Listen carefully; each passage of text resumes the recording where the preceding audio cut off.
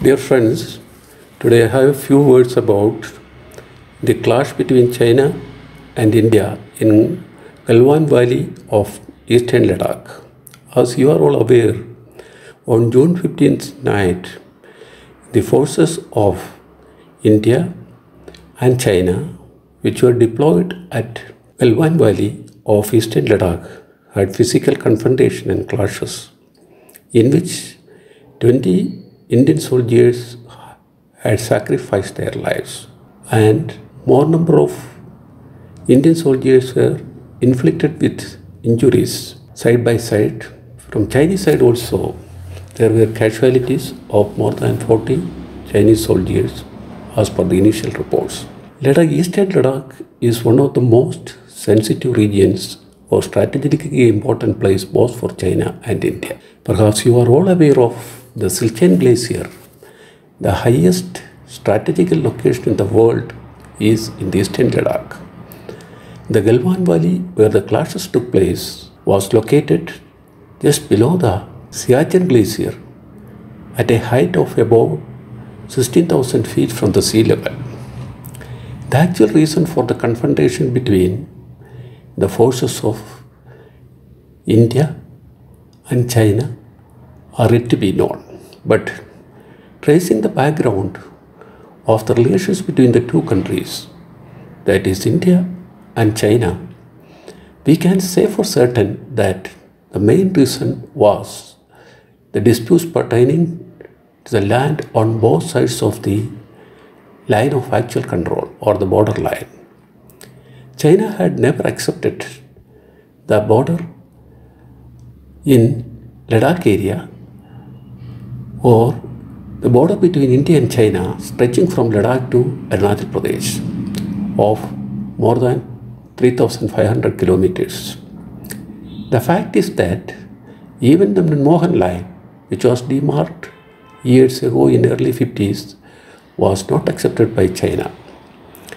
Subsequently, a lot of talks were held between the two countries in order to sort out and finalize an acceptable border to both the countries. In 1993, some sort of agreement was maintained or established between the two countries after a lot of negotiations uh, for restoring peace and tranquility on both sides of the LAC. But it was also subsequently violated by China because of their repeated intrusion into the Indian territory. As you were known, in 2013, 2014, and the latest in 2017 is in Doklam, the tri-junction of India, China and Bhutan, one of the most sensitive locations in the Ladakh region. But the present confrontation or clash, which is basically localized, was the result of India's attempts to improve the strategic infrastructure in the area, especially from Galwan Valley, then Depsang, uh, Pangong Tso Lake, Depsang, and nearby places. In Siachen, we have already had our helicopter landing facilities.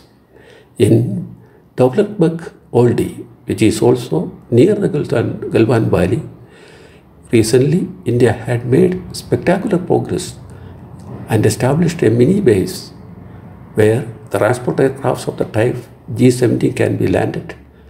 And the presently our border road organization under government of India or the army is engaged in the construction of a very important link road from finger number 14 stretching from Galwan Valley to Siachen border which if completed will reduce the time of the movement of the forces from Galwan Valley to Silchar region eh, to the Siachen glacier. So it's a spectacular improvement.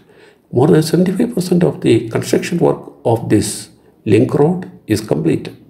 Considering these facts, the Chinese leadership and particularly the People's Liberation Army, which was deployed on both sides of, on the side of the LAC, had made a confrontation and intruded into the Galwan Valley, the east and Ladakh area, that finally resulted in the clash between the soldiers of the two countries.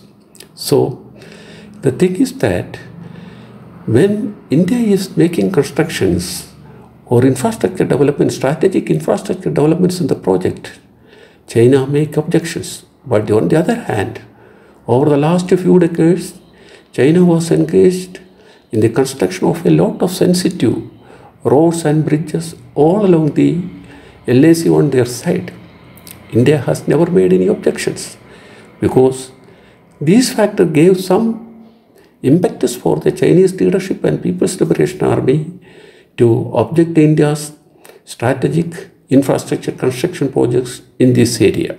So, there are other geopolitical factors for China taking very aggressive confrontation paths with India on the border issue. The most important perhaps is the isolation of the China in the international field, especially after the COVID-19 episode. US administration and notably Donald Trump has made virulent attack against Chinese government and Chinese leadership, attributing that their malfeasance had created a lot of damage to the international community in spreading coronavirus in many European countries, including US, whereas they had made some restrictions on the movement of Chinese nationals affected by corona in Wuhan to other cities of China, such as Beijing. Not only that one, and another important factor was the very outright approach of US administration on the issue of Hong Kong, where China had recently made some attempts to deny the autonomy of Hong Kong, which was based on an agreement between the China, Hong Kong and British government. The Donald Trump or US administration has stated that they will they would give unconditional support to maintain the autonomy of Hong Kong. There are other factors too, because India is also playing a pivotal or crucial role in checkmating the designs of China to expand their bases is East China and South China Sea and thereby occupy a strategic upper hand in the Indian Ocean or Asia Pacific region. Significantly, India played a leadership role in reviving the quadrilateral, an axis of four important countries of the Asia region, that is Japan, Australia, India, along with the US, to checkmate the designs or the expansionist or the aggressive postures of the China to make their bases in East China and West China Sea, as well as to woo a number of countries, neighboring countries of India, such as Nepal, Myanmar, Afghanistan, Pakistan, Sri Lanka, etc., by extending liberal financial assistance or infrastructural projects. All these factors have contributed to the present escalation of clash or tension between the two countries in Galwan Valley.